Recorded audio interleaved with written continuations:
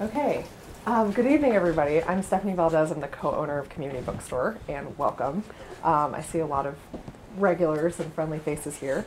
And um, today we're thrilled to have Howard Bloom presenting his new book. Um, Howard will be in conversation with uh, Steve Macknick, who is a neuroscientist and columnist for the Scientific American. Please welcome Howard and Steve. Thank you, Stephanie. Over to you, Steve. So, so let me start with a Timothy Leary quote about Howard's book. This is a monumental, epic, glorious literary achievement. Every page, every paragraph, every sentence sparkles with captivating metaphors, delightful verbal concoctions, alchemical insights, philosophic whimsy, absurd illogicals, scientific comedy routines, relentless, non stopping waves of hilarity. The comparisons to James Joyce are inevitable and undeniable. Finnegans Wake wanders through the rock and roll 60s. Wow! Whew! Wild! Wonderful! Timothy Leary. What was he on? Howard, right? as you know. So, so I've I've read the book, and um, I agree with Timothy. It's, That's wonderful. I don't have his his uh, wonderful hyperbolic sense, but I do have a few questions about uh, for you about this, and and one of the ones that that that I felt I was so excited about in reading your book was to learn more about the 60s because I, I kind of missed the 60s. I was born in 1968. Wow. And so, uh, but in a way, I feel like I was there for it because I was raised on the island of Maui in Hawaii, which was one of the, uh, the hippie enclaves uh, in, in the 70s and, and 80s, especially. And uh, its biggest cash crop was marijuana. Amazing. And, and so I, I grew up around people who, who were from what they claimed to be the hippie culture. And one of the things that I found to be surprising in reading your book is that science is pervasive through this book. It starts with science. Your childhood is um, perfused with science. Your love of, of Einstein and everything that came beyond that, and ever since, and your and your role now um, in as a as a science facilitator uh, for big science projects it shows your central role in many aspects of science. But that's a disconnect from the people I knew that called themselves hippies. And it's a disconnect with my perhaps um, inappropriate uh, understanding of the 60s. And I was hoping maybe you could, could help me understand how, why is it that, that, I, that I equate new agey kind of um, age of Aquarius thinking with, with the hippie movement when you, as one of its founders, is, is so ingrained with science? How does that, how, how do you reconcile this? Well, what I, I'll give you a little bit of background first. So I got into science at the age of 10 in theoretical physics and microbiology. When I was 12 years old and realized I was an atheist, my parents tried to drag me off to temple for the high holiday services. And as I was clinging to the car door with both hands and they were pulling at my ankles, I realized something.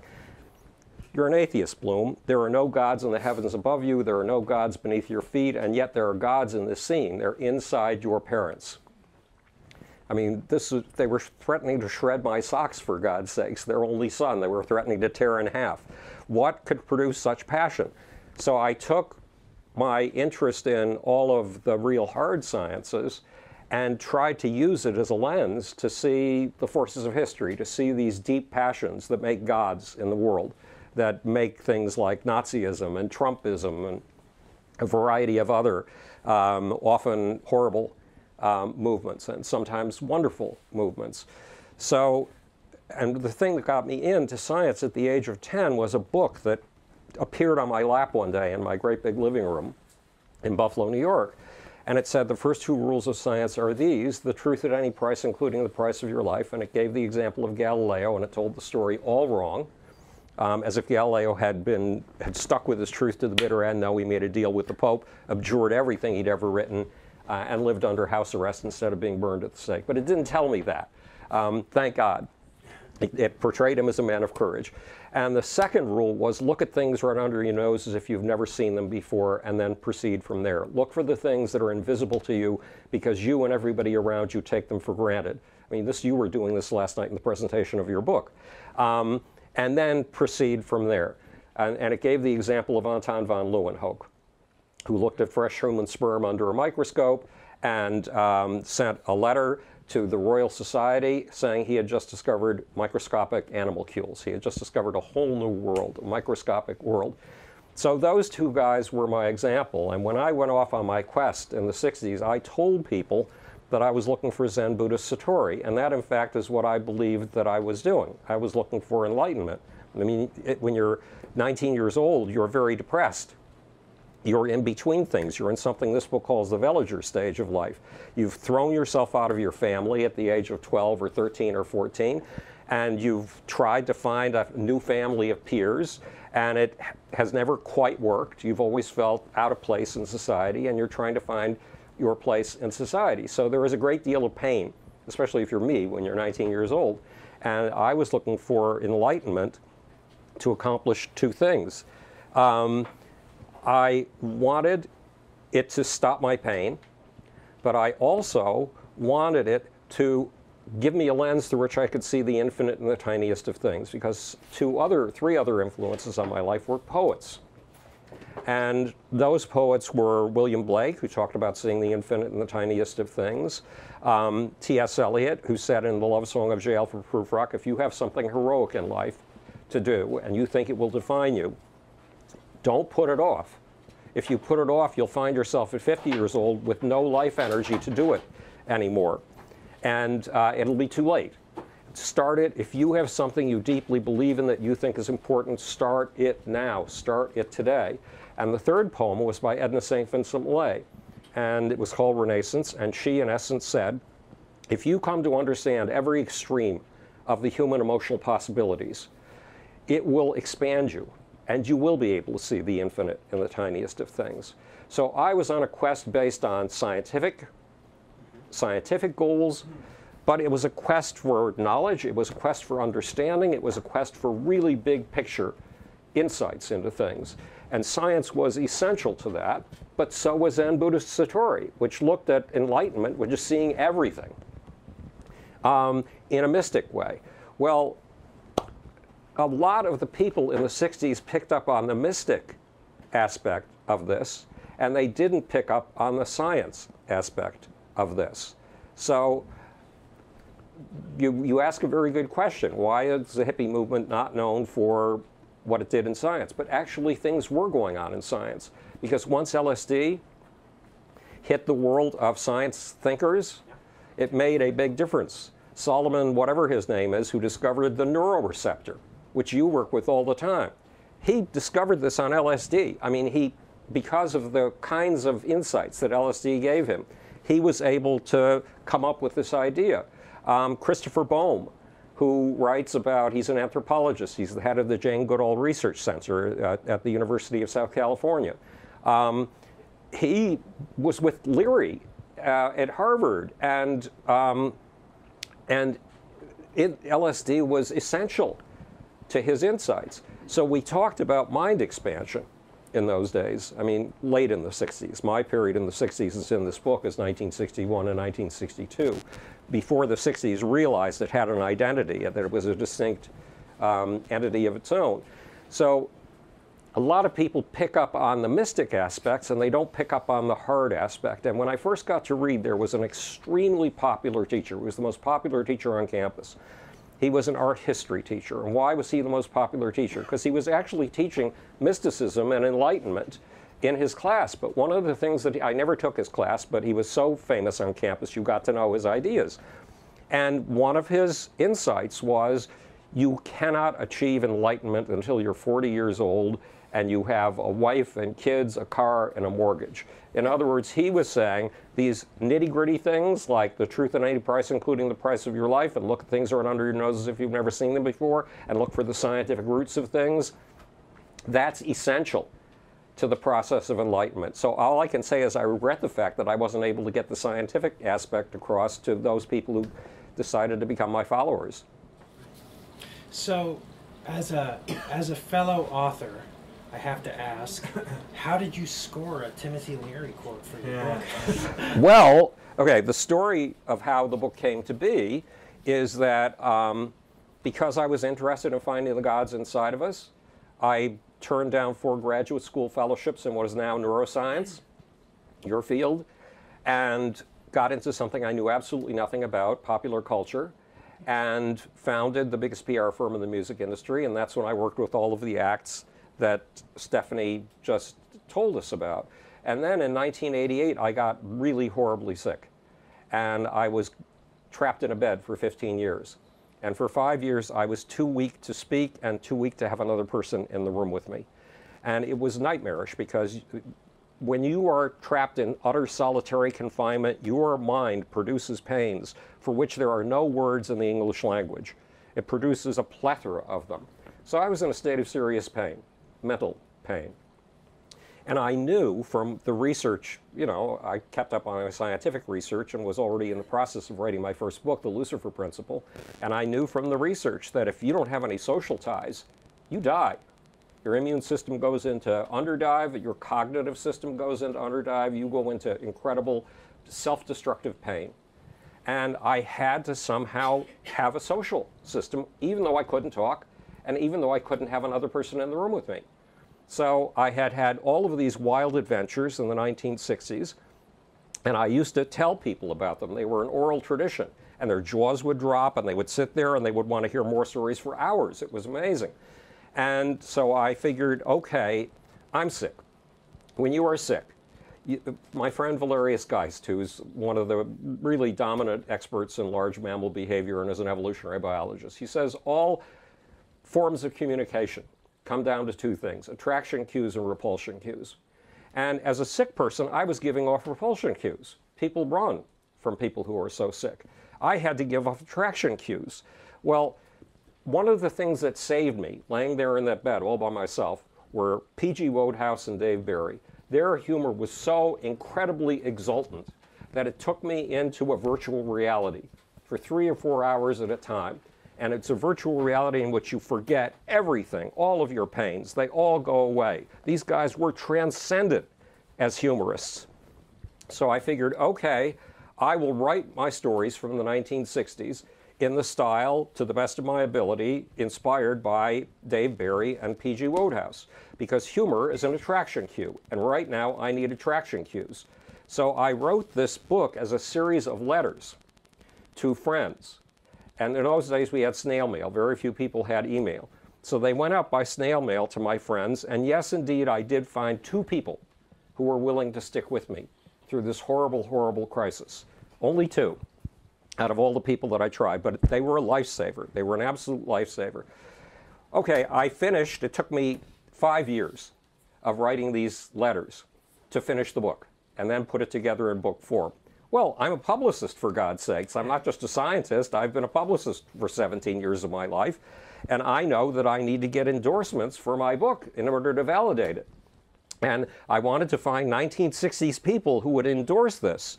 So I have a friend, Eric Gardner, who started his show business career as a tour road manager for the Jefferson Airplane. I figured, okay, I'll try to get the book to the Jefferson Airplane and see if I can get an opinion from them. So I wrote to Eric. Again, it was snail mail days. And Eric wrote back and said, I have somebody much better for you than the Jefferson Airplane. I have this client named Timothy Leary. So we printed out the whole book and we sent it out to LA. And Timothy, or uh, Eric said he had gotten the quote to Timothy, or he'd gotten the book to Timothy Leary. And six weeks later, this astonishing quote, just stunning quote showed up. Well, I knew what was happening. I'm not naive. I knew that Eric had written this quote and gotten Timothy's, uh, he'd gotten Timothy to say yes to sending it out under Timothy's name. There was no way Timothy Leary had written something so positive about something I, a mere pile of crap on the face of planet Earth, had written. Ten years later, when I was still stuck in bed and now could talk to people and have other people in the room with me, my friend Douglas Rushkoff, the author, came over to the bedroom to see me, and he brought with him an artist from San Francisco. And the two of them said, explained to me that they had spent Timothy Leary's last six months at Timothy Leary's bedside with Timothy Leary. Okay, I knew this quote hadn't come from Timothy Leary. And because I was stuck in a bed, I had a printer set up immediately next to the bed and a keyboard on my lap. So I printed out two copies of this quote and handed it to them. You can do that without having to reach very far. They were at the foot of the bed. And they read the quote, and this horrid silence descended on the room. Well, I knew exactly why that silence had descended, because these two guys didn't want to hurt me. They didn't want to hurt my feelings, but it was quite obvious that the quote hadn't come from Timothy Leary. And when they opened their mouths, they said, This is Tim. And in the it's making me cry, I'm sorry. But in the way that they said it, you could feel that entire six months of sitting with a friend who was dying and losing that friend in the end. You could feel the whole thing in just those words. And Timothy Leary was present in the room for them. And it took me another three years to process that. And then I realized I wrote this book trying to achieve the kind of transcendent humor that had saved me and the worst of my illness. Timothy Leary was dying of prostate cancer when he got the book. He was in the same condition I had been in when I had written this. And the book had done what I hoped it would do. It had lifted him to the kind of transcendent plane that Dave Barry and P.G. Wodehouse gifted to me. And I just found that astonishingly moving. So it was a Timothy Leary quote, after all. That's wonderful. So um, the the what do you think uh, is the is the real spirit of the '60s? Well, you perceived it, and nobody else quite has. It is to use all of your senses and all of your tools, which means science, art, history, everything, to try to come up with huge, comprehensive insights into the cosmos, a secular equivalent of enlightenment. Um, it is to adventure. Why adventure? What is an adventure? An adventure is something that takes you to the brink and a little bit beyond. It's something that you could die from. You're risking everything on some of the adventures that you have. I certainly was risking everything with many of the adventures in, in this book. But when you go beyond the bounds of, the sa- of safety and you go into the extremes of human life and you spend time getting to know people that you ordinarily would never know, and you come to comprehend them in your heart or in your empathic centers or in your mirror neurons or whatever it is, it expands you. And you and I are feelers in a larger entity. We're, culture is a mass perceptual entity, and the bounds of culture are constantly growing. And they are grown, that is, more and more things are perceivable by culture with each generation. And the ones who make those new perceptions possible and bring them into the realm of the normal are the adventurers. So it is your obligation not only to follow T.S. Eliot's advice, and if you have something important to do in life, if you have an adventure, start it now. Do not leave it for tomorrow. It is also crucial to do what Edna St. Vincent Millay was talking about, which is go out and experience the extremes that you, the most extremes that you can find. So you can expand you, and in the process of expanding you, can bring new knowledge back to the rest of humanity. That, to me, is the real spirit of the 60s. And we are living in a time, we're living in the Trump era. Truth is being trashed. It's being trashed horribly, and only two men so far have been willing to speak up about it Bob Corker and Jeff Flake. And their speeches were very moving, uh, especially Jeff Flake yesterday, because they said it's time to get back to truth. We have a lying president. This is all about truth. It's the truth at any price, including the price of your life. That, too, is the spirit of the 60s. So, why do you say in your book that there are two branches to the hippie movement? Well, because when I was hitchhiking out on the West Coast, I hitchhiked all the way from, first, I hitchhiked from um, Portland to Seattle. I was going to school in Portland, Oregon. I dropped out of Reed College, the college that Steve Jobs dropped out of. Um, and um, when I was hitchhiking up and down the West Coast, I was picked up one day by this big guy with a beard, and it was a pickup truck that was falling apart, and he had a beautiful girlfriend in the cab, and God knows how they fit me in with the two of them because it was only one seat. And he was a Marxist, and he was uh, into communes, and he ran a commune. And I ran into various other people who ran communes. These people were a different kind of person than me. I was on a spiritual quest with science underpinnings. And these guys, instead of being open to new experience, they were closed. They were pinch lipped. They were people who wanted to deny other people the right to all kinds of things. They ran these totalitarian little communes in which whoever had founded it got to sleep with everybody's wife, everybody's girlfriend, everybody's daughter. Um, and they were dogmatists. They were the very opposite of what the spirit of the 60s was to me. They were closed people. And I hated those people. I mean, you know, I didn't hate them in the sense that I would do them any harm. I never would. But I hated them in the sense of what they were. They were putting a blot on humanity. So I came back in 1962 after a year of absence, hitchhiking, riding the rails, and all of that kind of stuff. I came back to my hometown of Buffalo, New York. And I had very few friends there. Most people didn't like me. But I did have a friend who had brought me into the Unitarian Youth Group. He was a Catholic, and the two of us found a commonality in the Unitarian Youth Group. He was a very charismatic person. And standing there on the University of Buffalo campus in my hometown, I said, There are two branches to this movement that I've just come from. And one is the spiritual branch, and the other is the political branch. And the political branch would go on to protest against the war in Vietnam and all kinds of things like that that would make them famous. But if you, if you look at how they treated their women, they were totalitarians and they didn't want any of us to have any fun. They wanted New York. I mean, there was a famous conference. Danny Goldberg has covered this in his book on 1967. There was a conference where all the major intellectuals of the political left and the hippie movement got together and they said, in 10 years, there will be no more New York City. There will be deer wandering in forests where New York City was. Well, has anybody seen a deer on the way over here today? I mean, did you see? You did? Only on acid. and so, so New York is still here, and it's more vibrant than ever before. They wanted to deny us the very city experience that makes life rich for all of us, every single person in this room. They are den- they're, they're deniers. They're people who push away the good things of life, and look at the look at things right under your nose as if you've never seen them before. In other words, find the joy and the infinity in the things that are good and stop the things that are bad. That was not their spirit. No. So, as a scientist, I would like to know what is, do you think, the, the main message for science in your book? Oh, God. Um, That's definitely not one of them.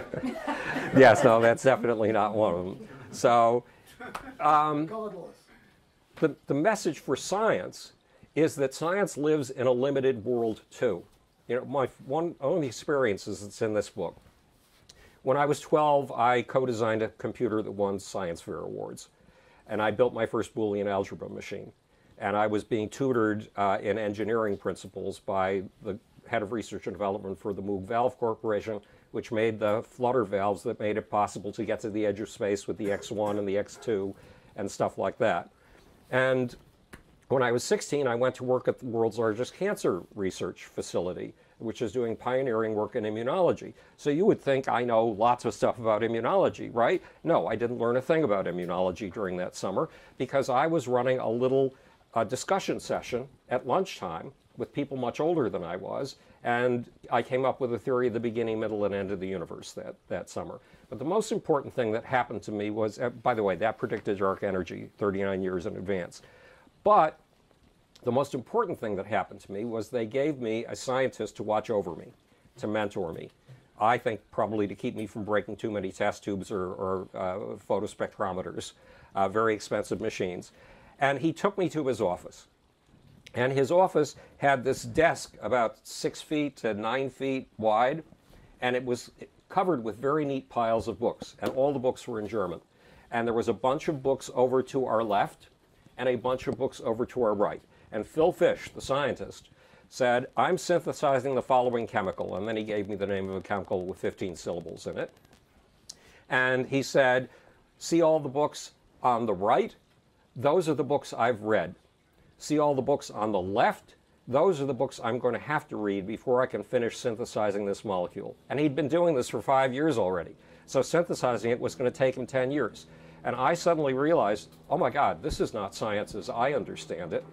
He's talking about becoming a mole who digs a hole so deep that all he can see is the dirt on either side, if he can see anything at all, because it's dark down there. Um, and my job is to be an eagle flying over the landscape and seeing how all these little gopher holes are pixels in a bigger picture. My job is to see the landscape. And I even thought maybe I should go get out of science and go into philosophy if this is what science is. The message of science is as a scientist, look at the things right under your nose. Look at the things going on in this room with this community today, planted in the middle of what's been happening with Park Slope, planted in the middle of what's been happening to the world, and see the bigger picture to the best of your limited abilities.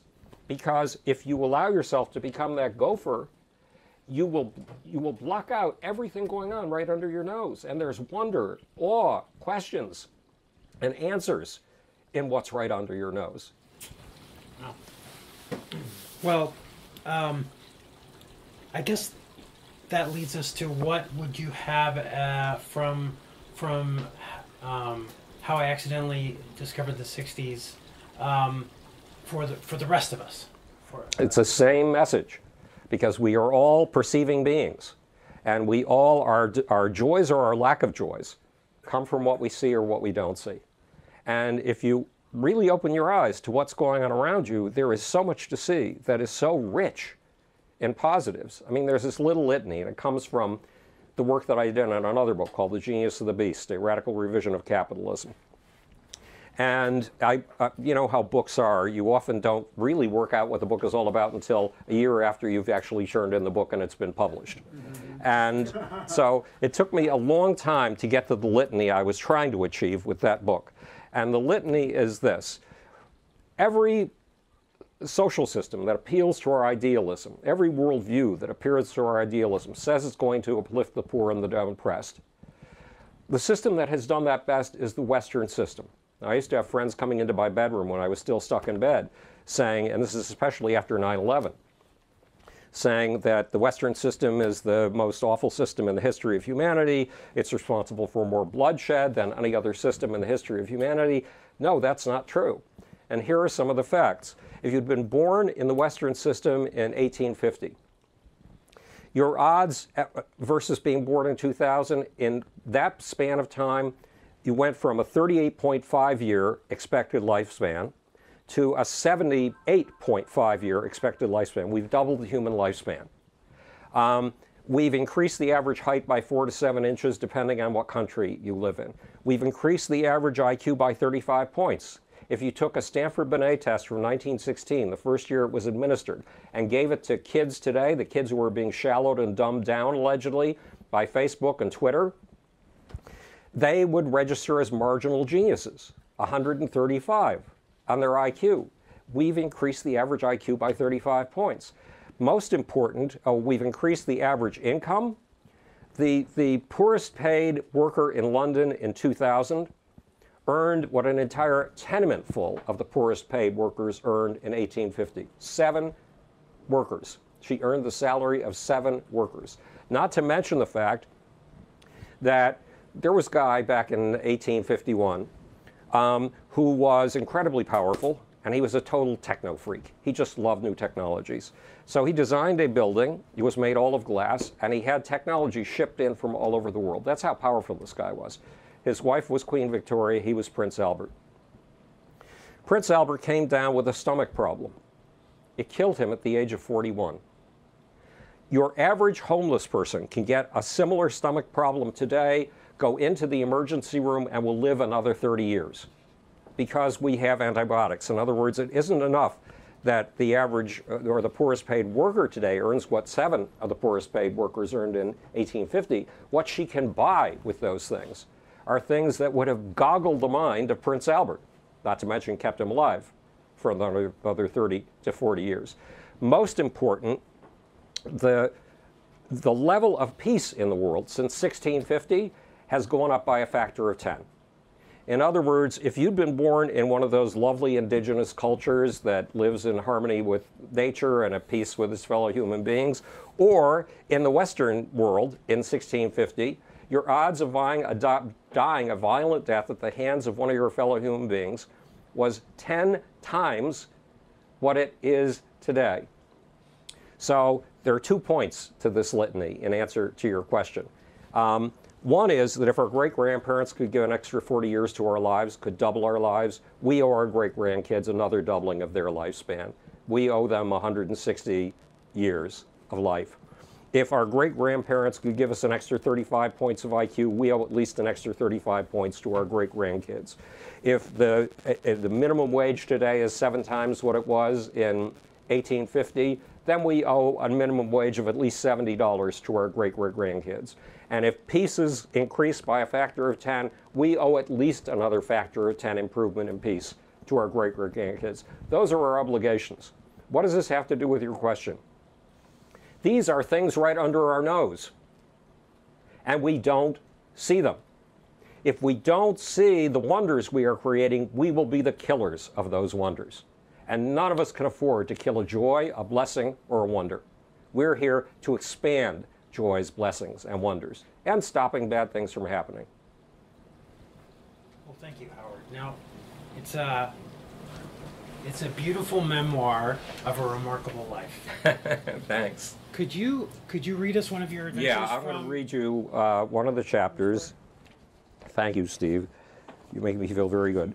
Um, so, okay, here's a story. It feels a little funny to drag these stories from the depths of memory now that us baby boomers are all supposed to be picking out the patterns for our tombstones, counting our wrinkles, and trying to replicate the secret of Ronald Reagan's perpetually dark hair. But speaking as a voice from the crypt, let me see if I can impart some mangled sem- semblance of wisdom to this seriously brain damaged world. To follow this tale of moral profundity, you'll have to travel with me back to the dim and distant days of a long forgotten era. Before Roomba robots, apps that identify bird calls, gaming consoles you can communicate with by twerking, garden hoses that miraculously avoid tying their own creative variations of Boy Scout knots, and drones with which you can watch your wife doing things with some other guy that she's always refused to do with you. Yes, we are fumbling through the swirling mists of the past to those years of astonishing antiquity when even Donald Trump, David Letterman, and Jay Leno were still in their teens, and when Lady Gaga, Taylor Swift, and Miley Cyrus had not yet been born, the early 60s. More specifically, it was 1962. I had just left college without finishing my freshman year, a high crime.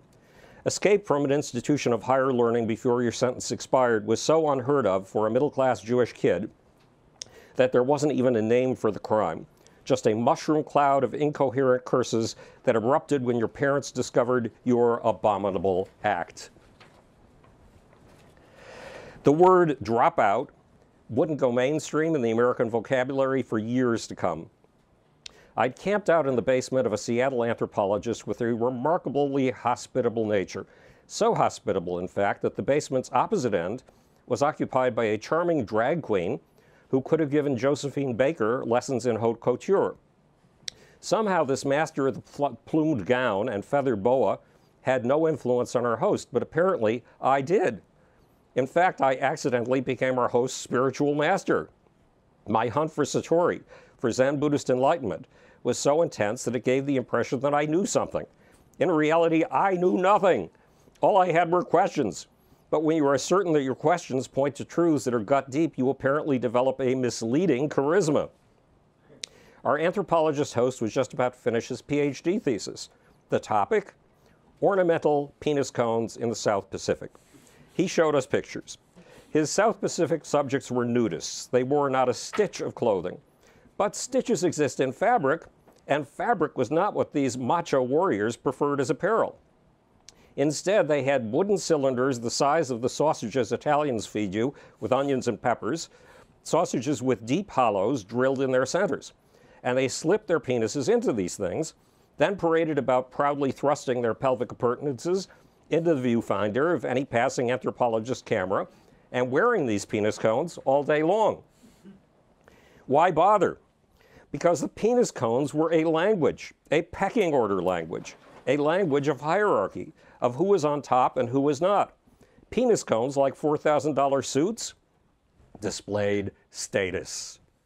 Thus, a lesson was inserted into my brain about the central role of status in the lives of men, a lesson that would eventually shape my theories in my books. But that's in the very distant future. Let's get back to 1962.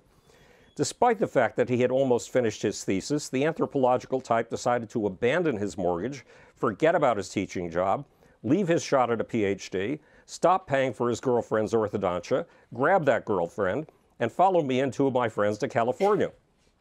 Our arrangements for departure were all set. We would head for the nearest freight yard and catch a boxcar headed south. Unfortunately, I got a cold, and my followers left me to catch up with them when I could get better. Not a nice thing to do to your spiritual leader. But they were not heartless about it. They found me a room in one of those environmentally conscious University of Seattle off campus hovels where no student has washed the dishes for six months, and every platter and fork is turning mossy in the ecosystem of the sink. I had a mattress of my own on a nice organic hardwood floor. The boards were biodegradable. You could tell they were rotting. And my acolytes had provided for my recovery with a leaking pitcher of orange juice, a pile of sandwiches, and the company of a remarkably sympathetic horde of cockroaches. Four days later, thanks to the healing powers of this nature rich habitat, I finally got my health back. I went to the local supermarket, gently laid a quart of milk and a loaf of bread in my shopping cart, then stuffed my athletic supporter with provisions cream cheese, smoked oysters, and a variety of other delicacies. I paid for the milk and the bread, accepted the more expensive items as a donation, and headed back for the moss covered kitchen, where I cleared a space between the fungi, spread out my 24 slices of bread, and made 12 sandwiches, packed them in the plastic bag provided as a bonus by Wonder Bread, made a gallon of Kool Aid in a Clorox jug, rolled the food into my sleeping bag, headed for the open road, and stuck up my thumb. Jack Kerouac, one of my idols at the time, would have been proud.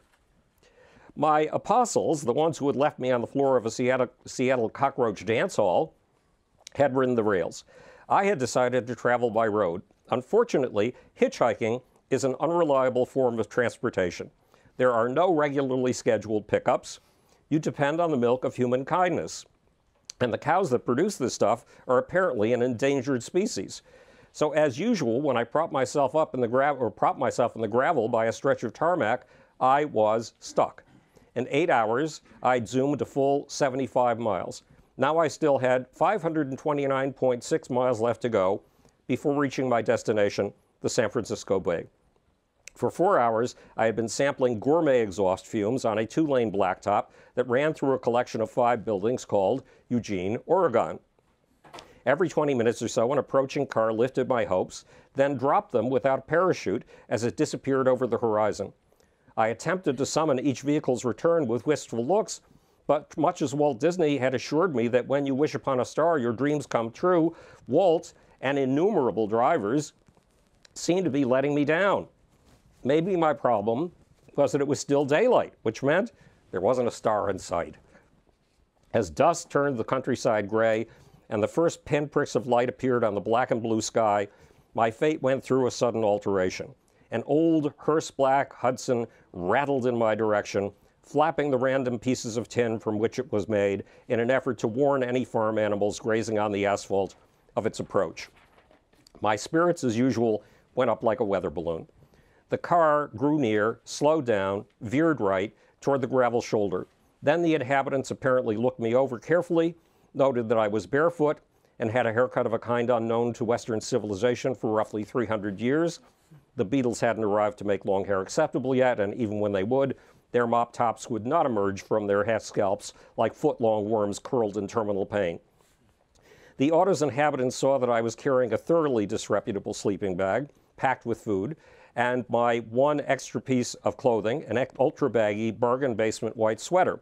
A sweater of a brightness designed to distinguish me clearly from the empty air above the roadside gravel as I plaintively stuck up my thumb in the blackness of the night. The folks in the car were unable to spot my major virtue. I showered every morning. The inspection was apparently unsatisfactory. They picked up momentum, spat gravel, and left me in their dust. The sun had sunk. The clouds on the horizon were red, and so were the whites of my eyes. Eugene, Oregon was disappearing into the gloom along with my hopes. The sort of experience that makes a, re- a rejected hitchhiker feel as if his emotions have been plunged into liquid nitrogen. Then a miracle occurred. The funereal Hudson appeared on a side road about 250 feet behind me.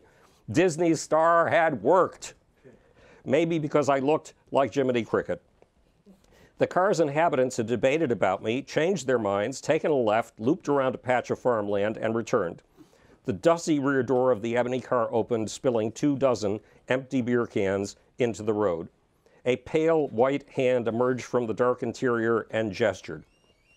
I snatched my sleeping bag and ran, hoping to catch up with this sweet chariot before it could swing across the Jordan without me. It was the beginning of one of the strangest nights of my life. To enter the car, I had to find space for myself on a back seat whose legroom was occupied by four cases of beer. Inside, the figures were spectrally silent. A gaunt, tall man clutched the steering wheel, staring straight ahead. In the dusk, his eye sockets looked like huge black holes. The passenger seat held a smaller person with slick dark hair who never turned his head.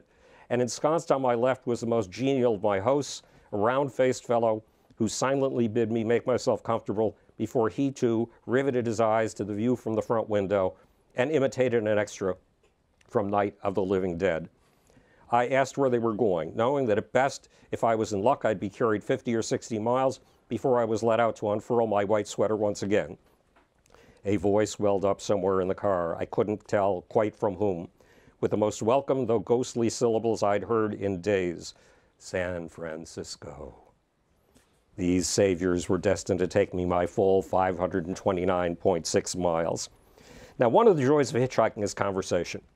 It's a delight to yank life stories from the unsuspecting benefactors who haul you around. My luck in the sport has always been superb. I had pulled inner secrets out of a carnival barker, a narcotics agent, a Bible college graduate who was fleeing from a conspiracy between flying saucer people and the CIA, and even from an insurance salesman who explained with extraordinary warmth why his kids and wife were more important to him than his career. What do you guys do for a living? I asked. This question was the guaranteed key with which to roll open the top of the conversational sardine can. But not tonight. My three hosts stared straight ahead. The eye sockets of the driver grew more cadaverous.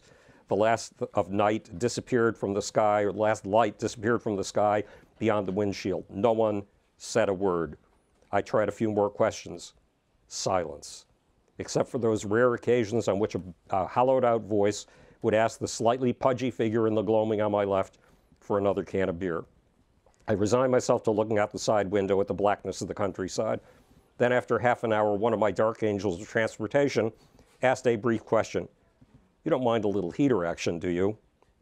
It was getting chilly. So I answered that I didn't mind at all, but no one reached for the dashboard switch that would have pumped out some warmth. Then, slowly, it dawned on me.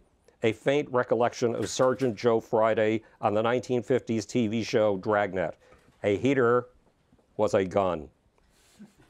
I sat in a cold sweat with mental pictures of my limp body tied to a telephone pole in the desert, slightly marred by a bullet hole in the head. After all, who else was there to shoot?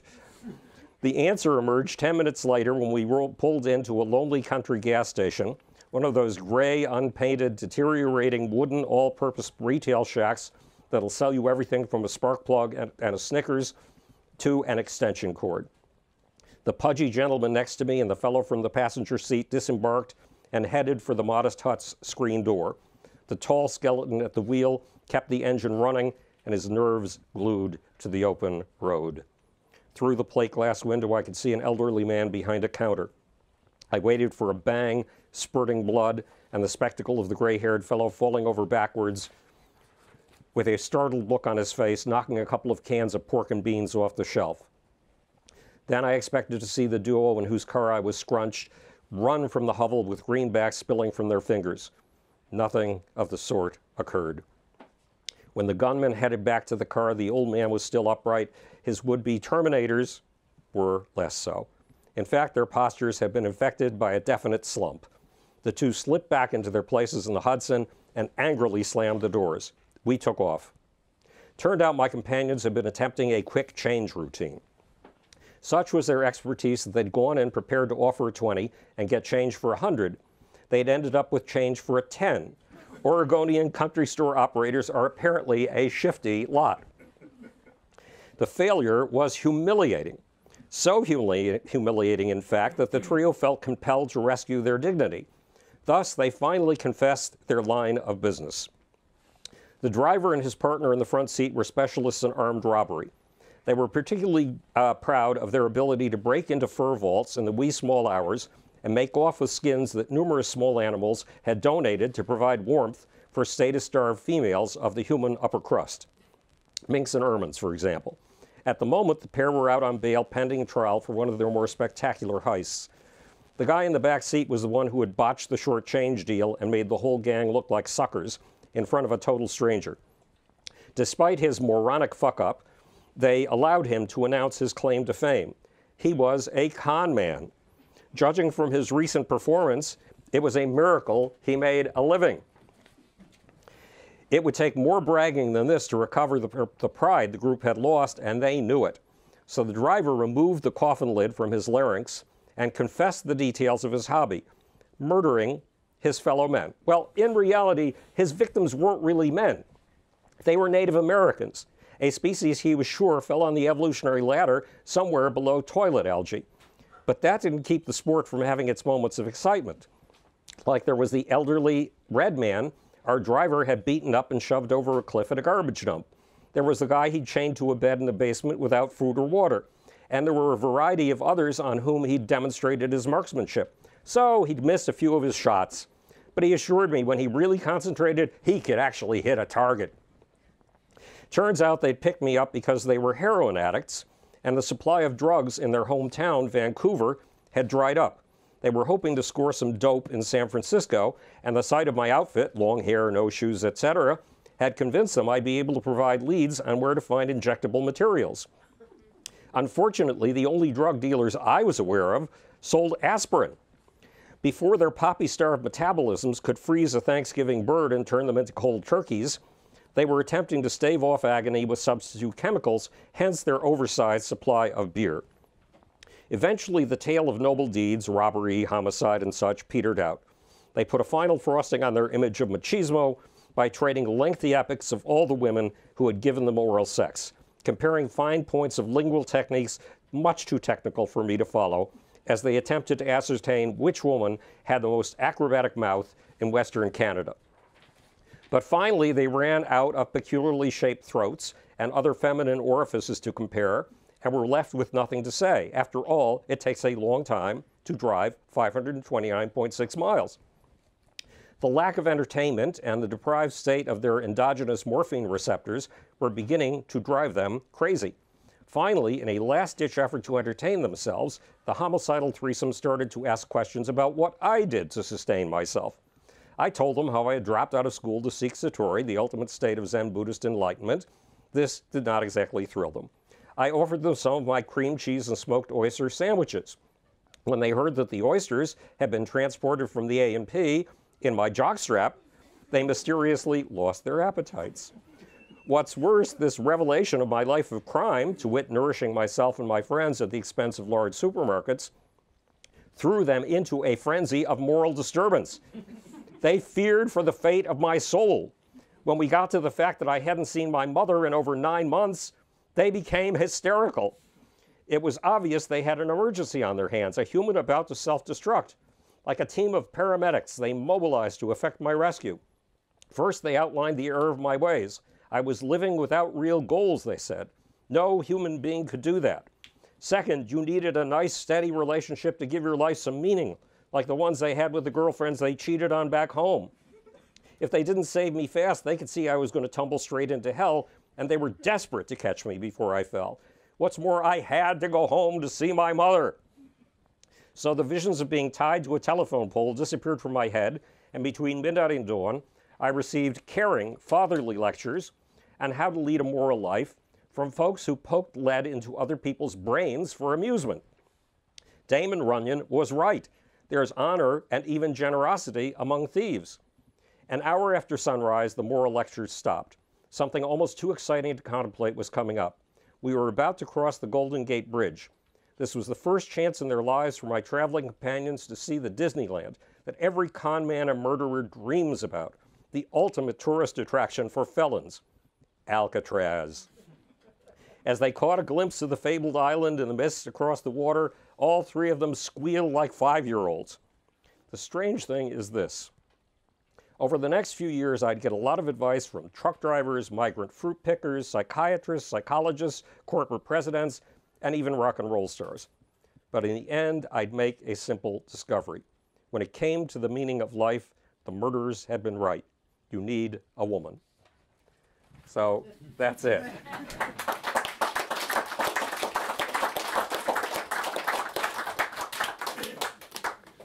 Wonderful. So why don't we uh, take some questions? Yes, we'll take questions if you have any questions. Otherwise, we'll come up with our own. Um, ah, Greg. Yeah, when you were in San Francisco, did you have any contact, being a scientist, with members of the fundamental physics group? No, I was a kid, and with no, and, and I went looking for the ultimate mecca for me. They would have helped you. Well, I was looking for the beatniks. Oh, okay. And so I went to, to North Beach, which was written up every single week in Time magazine as a thriving home for the beatniks, overrun with beatniks. And the streets were empty. And I went to the City Lights bookstore, Lawrence Ferlinghetti's bookstore, where all the beatniks were supposed to be hanging out all the time when they weren't in Greenwich Village. And it was an empty store. And I walked to the counter, and the person behind the counter really wanted to pay no attention to me, no matter how peculiar I looked. And I said, Where is everybody? Where are the beatniks? And he didn't even answer. He didn't even look up from whatever he was reading. So I walked out looking extraordinarily distressed. And a person came. One of the things that I discovered was human kindness is amazing. So I walked out and I looked really distressed. And somebody walked up to me and said, You look troubled. Could I help you with something? And I said, yeah, yes, I'm, I'm looking for the beatniks. and, and he, he scratched his head and he rolled his eyes up as far as they could go and his eyelids and he thought and thought and thought and finally said, have you tried Colorado? so that was what I was looking for in San Francisco, but there was nobody there, which is why we became the movement because there was no movement. And kids need somebody who articulates what they are feeling at, that they thought made them solitary, alone, and crazy. This is one of the discoveries I made in the rock and roll world. My icons, my stars, not only did I tell them you don't just owe your audience your songs, you owe them your life, and I wasn't quite sure what I meant, but I knew it was true. What I realized is that, that I was helping one subculture after another find its identity through the stars who express that identity. And I just happened to be in San Francisco at a time when nobody else was doing what the beatniks had done, expressing all those hidden angsts. So that's why our movement became a movement. It wouldn't get a name for another two or three years, but then it would be called the hippie movement. And Time Life would do the same, Time Magazine would do the same with us, that they had done with the beatniks that brought me in touch with the beatniks every week when I opened Time magazine in Buffalo, New York. Any other questions? Aha. Make it sound like you wrote all the books, um, like The Global Brain, and during that 15 year period um, when you were bedridden, and that they're just kind of spilling out piece by piece lately. Well, I wrote the first three books while I was in bed. I mean, I, I was stripped of any everything that you can imagine identity to be. I was stripped of the ver- I didn't know there's something in us called a sense of being human, a sense of humanity. And when, and I had always wanted to get out of the PR business because I learned everything I could from being at the center of attention storms with rock stars. And I wanted to start writing my real work, my, my books. And I'd written half a book when I became sick. And then I was deprived of an identity. And I had to reinvent myself. It took three years. And so eventually I learned I was making a mistake in trying to sit up. That was taking the energy that I could have used for my larynx to speak. I had to lay in bed, and I had two computers set up next to the bed, controlled with one keyboard that was bolstered on bolsters so I could see it when I was lying flat in the bed. And I founded two international scientific groups, and I ran, I mean, I, I wrote three books. But the other three books I wrote after then. So I've continued writing even though I'm upright. Hard as that is to believe.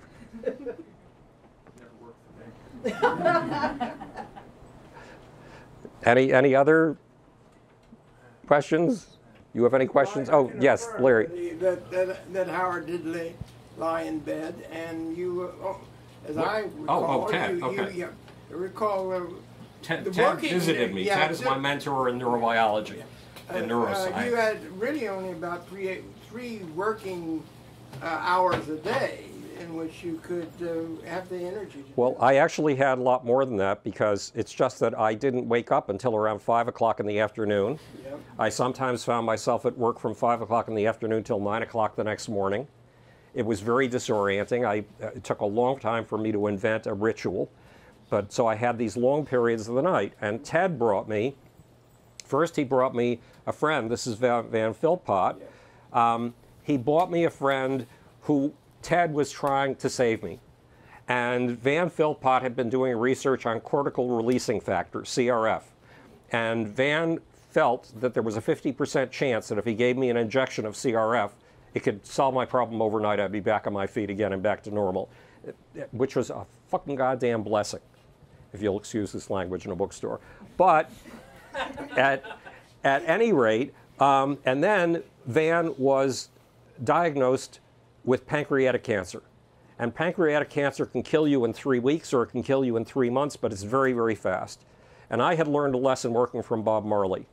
Um, I was hired initially to radically increase the size of Bob's audience so he could do in North America what he did every place else in the world sell out 120,000 seat stadiums. He couldn't do that here. And I worked on that for a year, and then Bob was diagnosed with terminal cancer. And I had a sudden realization. Bob was staying at a chateau in Switzerland to get alternative treatment.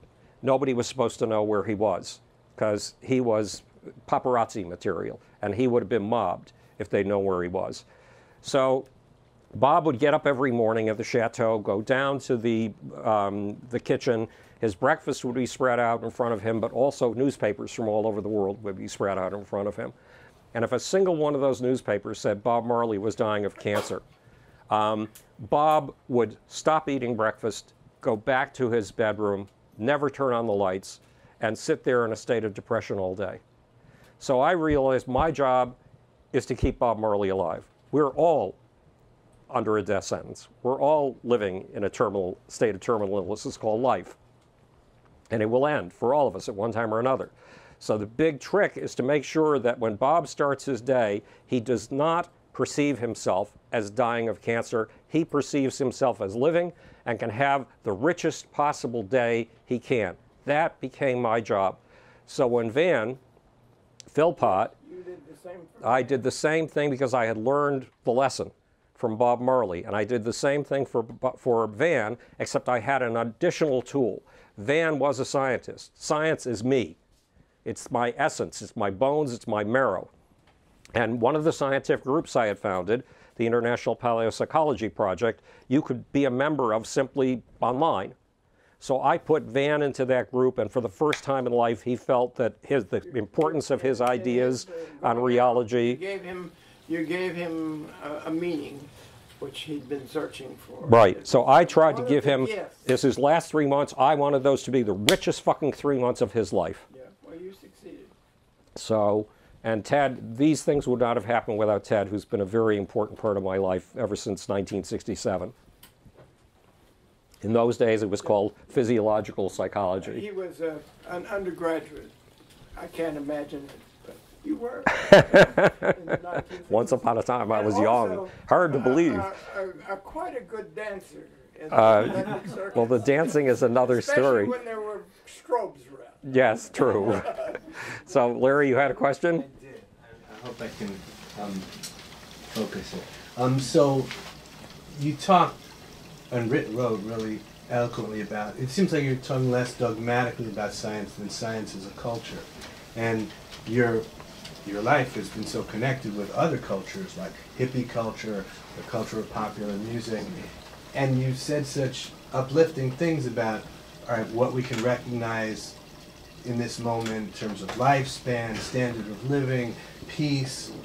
Now, in terms of culture, do you feel, do you have that rosy view too about this moment? Are we in a good cultural moment? We're in a very dangerous cultural moment. Um, it goes back to what Flake, Jeff Flake said yesterday, and what Bob Corker said yesterday. The values of our culture, the values that make us who we are, are being trashed every day in front of our very eyes. And a significant portion of the population, 37%, is so, has its hopes so pinned to Donald Trump that they can't see that the very things that they too believe in are being destroyed. And we're in a moment where we we have feared that the damage done to our culture could be permanent. I don't know about you, but the, the idea of truth and fact checking have so disappeared from the White House that it's as if they never existed. And in that instant, we've come to realize just how important truth and fact checking are and how easily they can disappear and the culture can change. So, you know from the story I've just told that from the age of 12 on, I was using all of my sciences to try to understand the forces of history.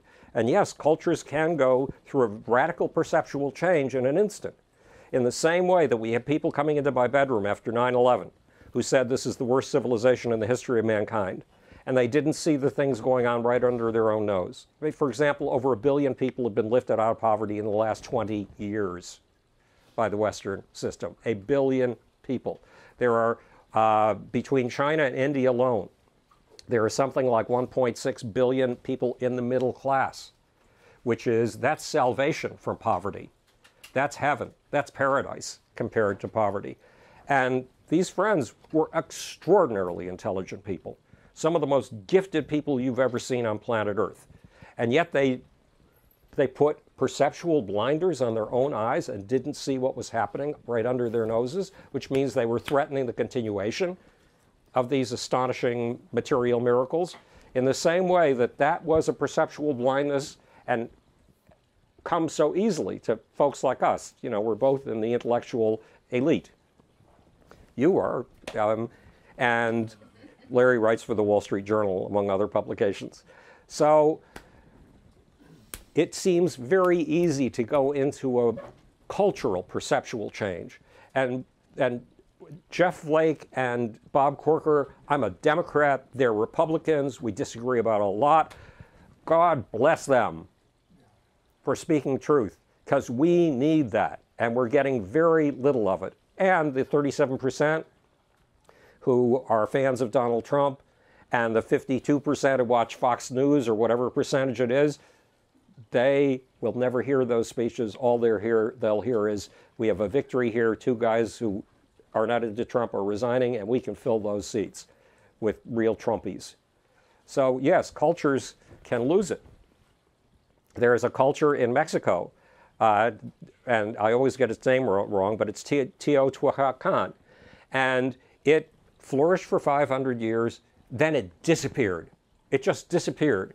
And the archaeologists don't see any signs of war at all. Well, my bet is they went through one of these perception shifts and came to despise everything they'd achieved. And in the process, drove themselves to the countryside, where, of course, they became poor people um, and where they produced additional poverty. They certainly didn't produce riches, insight, all the things that culture produces anymore. We cannot afford to do that, and we are too, we are like that. I mean, the intellectual elite are, are imagining that if we just get rid of this thing we call capitalism, a utopia will spring up. No, utopias are not automatic.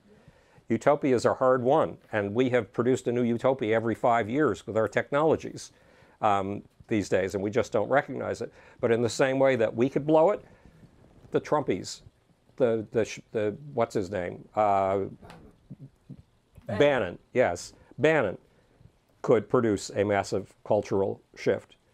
There's one piece of happy news, and that is there was a tremendous cultural hijacking of the culture in Germany in 1933, and a similar hijacking in Japan in 1933.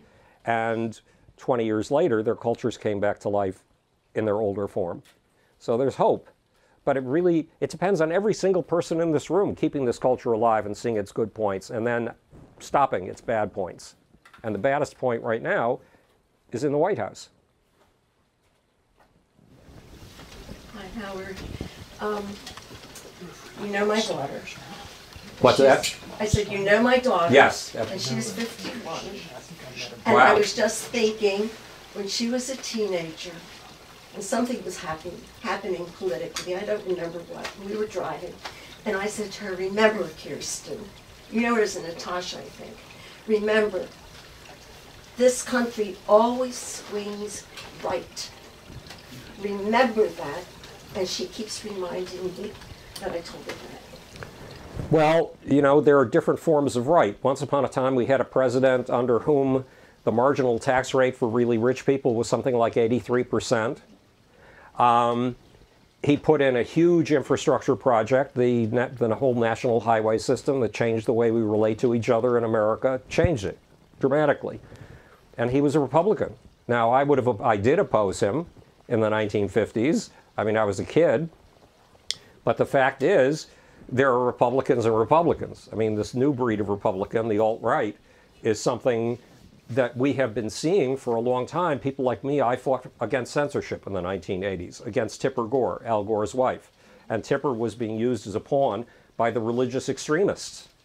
Um, and I came into contact with the, the militia movements and other really crazy right wing religious movements. But those movements are entertained by Trump and Bannon. Those movements, for the first time in my, my lifetime, are doing something that we were afraid in 1951 the John Birch Society would do, that the crazies would take over our White House and our government. Well, the crazies are trying right now to take over our government because they have a president who is a know nothing, most ignorant person on the face of the earth. Um, yeah, we're at risk. There's an election coming up in 2018, and every single one of us should be working on it in some way.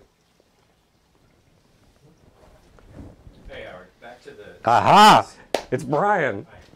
Back to the uh, to the '60s. So usually when people talk about the '60s, I obviously grew up in the '80s and '90s. It's always a lot of sex, drugs, and rock and roll. But um, you forget a little bit about the cultural impact of the sort of shared vision and excitement about space and the space program. And uh, assuming, as I do, that in 2018 and 2020 we start to turn this thing around, is there a way, do you think, of re-envisioning a future for outer space and getting a sense that you know we're all on the same page around the Earth in terms of There, there is. I mean, remember uh, how excited we were at the end of the 60s when Neil Armstrong and Buzz Aldrin set foot on the moon. We all tried to be near a television set somewhere. I was at a television set at the Electric Circus, a place to which you had brought me at one time. And, um, and they had these things nobody had ever seen before eight foot, 10 foot high television screens. Now, Dr. John played, excuse me, and then we watched as the first men set foot on the moon, and it changed our sense of our role, our place in the universe.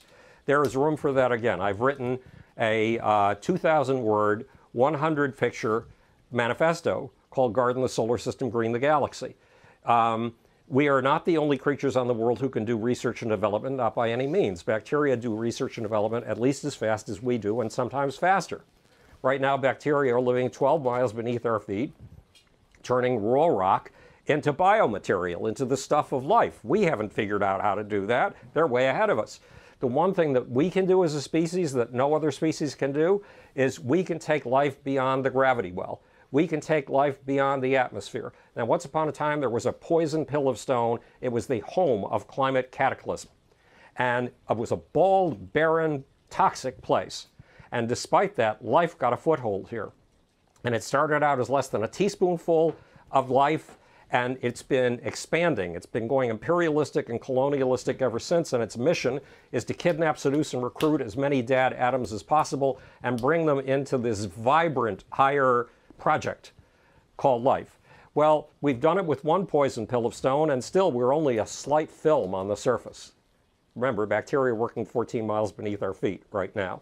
Um, but we're the only ones who can take ecosystems to other bald and threatening balls of stone and do with them what we did here.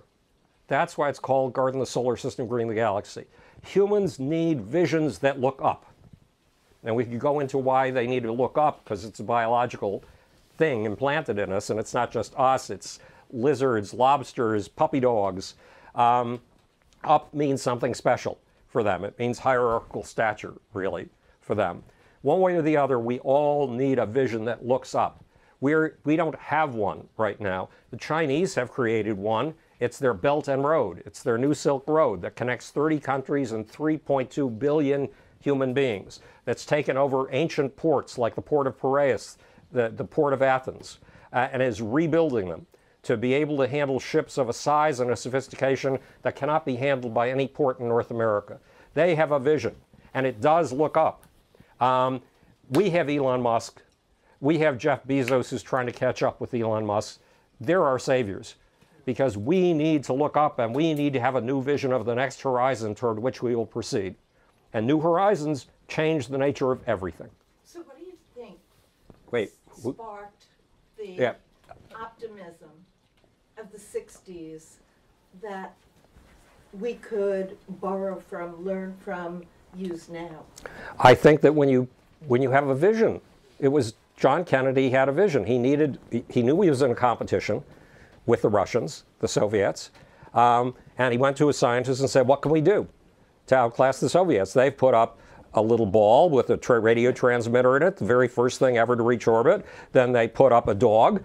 Then they put up a human, and we haven't done any of these things, or we came in late in the game. Where, how can we demonstrate that we're ahead of them? Part of the answer was we could put a human on the moon because that's technologically possible, is what his advisors told him. But the part they didn't tell him is that's a vision looking up.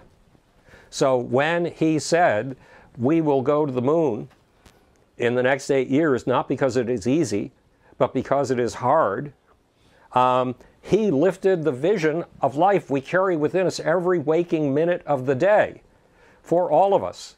And that's what I'm trying to do with all of my space activism. Um, with the multiplanetary mission I'm putting together at Caltech, or I'm leading the team at least, um, and with my role in the National Space Society and with the group that Buzz Aldrin conned me into starting, the Space Development Steering Committee, which I had, I'm trying to effect a vision transplant. Because a simple change of vision, like those words from John Kennedy, literally takes us through every minute and every second of the day in a different way. And we really need that right now. Okay, well, please join me in. Uh, are there more questions? Yeah. Oh, okay. So what is, what is the, what is the interplanetary vision? What is, what are you? It's to not just take us to space, but to take plants, animals, ecosystems to space. It's to put ecosystems, I mean, I would love to see it on the moon. Buzz tells me the moon is a place of hell, and no human should ever be consigned to going there. Um, I would like to see it on the moon, despite the moon's problems. We certainly want to see it in terraforming Mars, which means bringing life to Mars. And then seeing what unique things life does in that environment that it's never done before because it's under conditions it's never been exposed to before. I'd like to see it everywhere, but mostly in Christmas tree ornaments hanging in space, in giant bulbs, space colonies, because there you can put you can build space colonies big enough to put parks and forests and lakes and trees That makes and walk your puppy dog. Makes the most sense because Mars is also, Difficult. But remember, we do these, choose to do these things not because they are easy, but because they are hard. However, these Christmas tree ornaments decorating space, um, space colonies made from regolith, made from the raw material that's in the dust and stone of the moon, from which you can make concrete, steel, glass, and microchips. And whatever comes after microchips are obsolete. Um, there's all the material we need, and, it, and it's in asteroids too. One asteroid can have more dollars worth of material than the entire gross domestic product of the United States. $17 trillion worth of raw materials. It's just when are raw materials valuable? When we bring our imagination to them and start fashioning them into things people are willing to pay money to buy. Why? To lift the quality of life. To lift the quality of life. Except when I use that phrase right now, I don't just mean lift the quality of life for individual human beings. I mean lift the quality of life by giving life entirely new horizons in which to roam. Okay, well, let's congratulate Howard Bloom. Great, hand caps, thank you. Thank you very much. You've been, a, you've been. A, I know this. You hear this uh, from every person who goes on stage, but you've been a lovely audience. You've been so good.